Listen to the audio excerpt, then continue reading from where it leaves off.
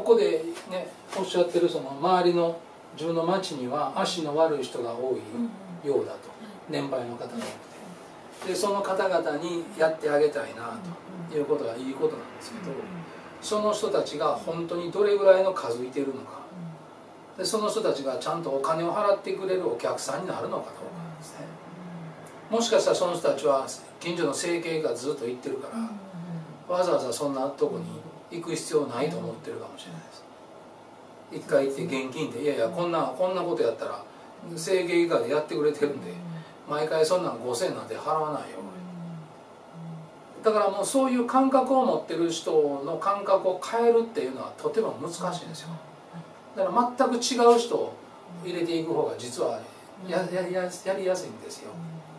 でそういう人がすごく増えてます。で実際私の周りでもよく言われるんですよ。谷口さん誠実やってないの。っていや今もやってないです。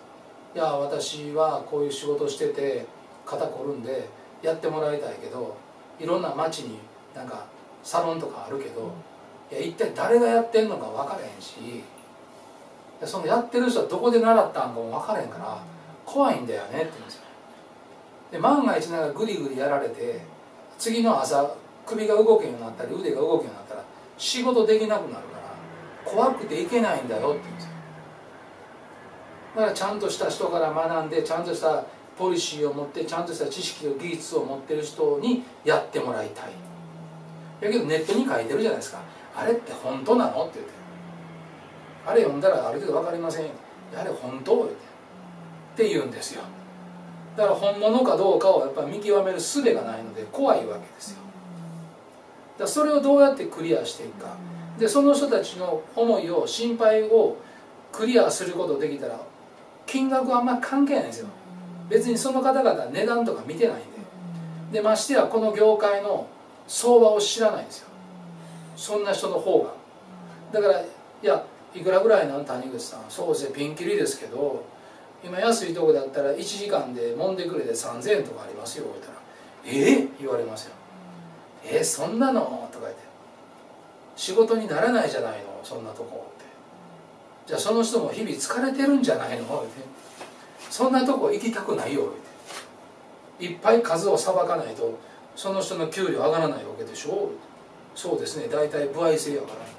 え、そしたら3000円あって自分1時間で1500円しかもらえてないの。その人10人ぐらいやって自分11人目怖いわ。ってなるんですよ。だからちゃんとした理論を持ってるちゃんとしたところから学んでるちゃんとしたこと対応できるっていうことさえちゃんと示すことできたら金額が関係ないっていう人はたくさんいるってことです。そういう人を目指した方がいいですよってことです。だから今お知り合いの中のそういう野菜作ってるお友達とか、ね、漢方を勉強してるお友達が20人ぐらいいらっしゃる中でそういうのを受けたことないっていう人いらっしゃるかもしれないです。でも大江さんの人柄を見てあこの人ちゃんと真面目にずっとそういうことを勉強してあるし今度わざわざ大阪まで行ってそれ谷口ですから教えてもらってるらしいと。何かあったら谷口にいつでも聞ける、まあ、谷口ってなんかなんか怖い顔してるけどちゃんとやってるやんみたいな、うん、あそうしたらいいんじゃないかなっていう。大江さん自身の人間性ももうあれね信用されてるわけですから。でそこでもうあんまりいくらいうのはないと思うんですよ多分、まあ、もちろん花から高額を取ろうと思ってるわけはないんで。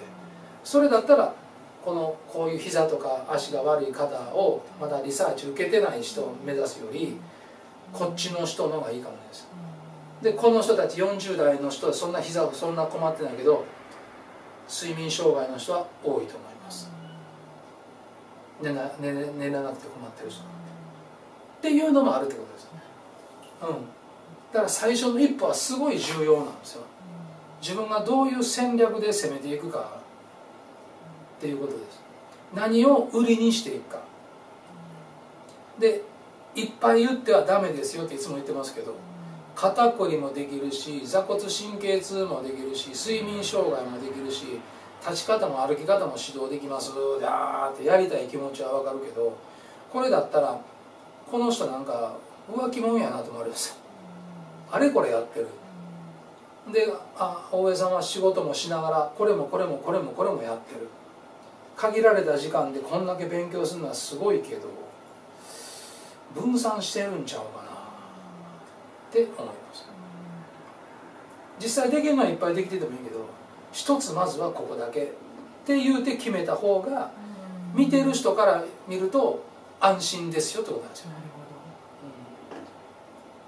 からすごくその決めるのはすごい重要なんです。そこを考える。だからもしそれ分からなかったらみんなに聞いてみたいですよ。今のこっちの人に。もし立ち方でいくんやったらあ足とかなんか豆とかないとか言ってでもしくはあのよく眠れてるでこうリサーチしてもどんなこと悩んでるか、うん、でそこから合わせていくのもいいと思いますけど。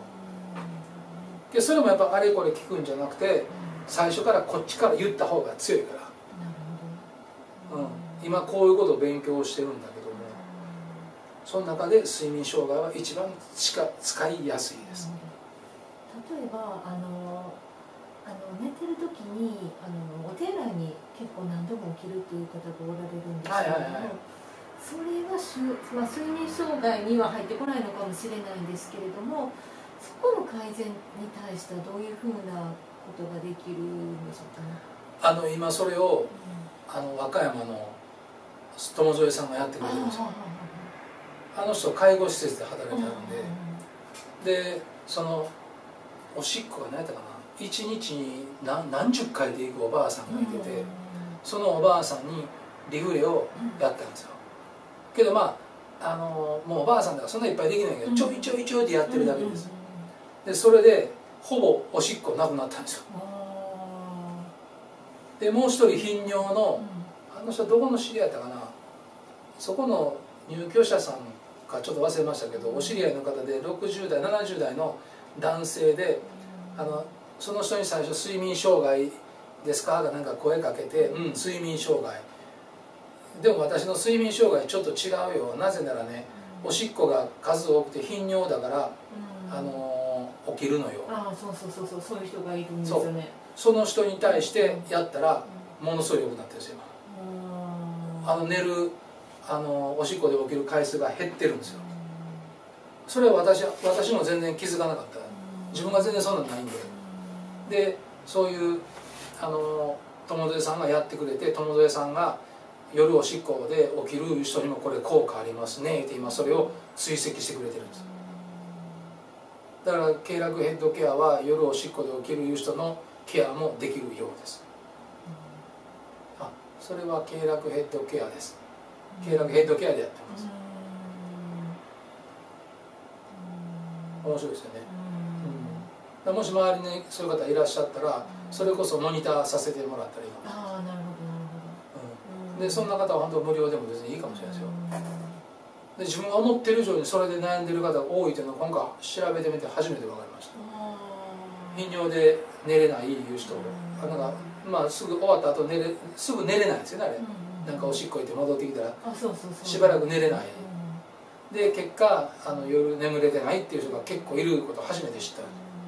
これ新たなあのターマーケットですねここはそれを経絡ヘッドで改善することができればとても面白いかもしれないですね。そうそうそう。やってなるほどなって考えるのが大事なんですできたからバーンじゃなくてちゃんと戦略を練ってどうこの自分の技術を表に出していくのか。どういう方をターゲットにしていくのかを決めていかないといけないんですよ。でないといざ広告出す時でもその時の言葉が決まらない、で繰り返し言いますけどみんなに来てもらおうと思ったらダメなんですよ。こう絞り込んでこのこのいっぱいある中のここで絞り込んで。でここに対して他の人は極端な話お断りするぐらいで向こうから反対にお願いしますって言われるぐらいのポジションを取るそれがすごく大切になりますそこをちょっと考えてもらうと大きく変わってくるかなと思います。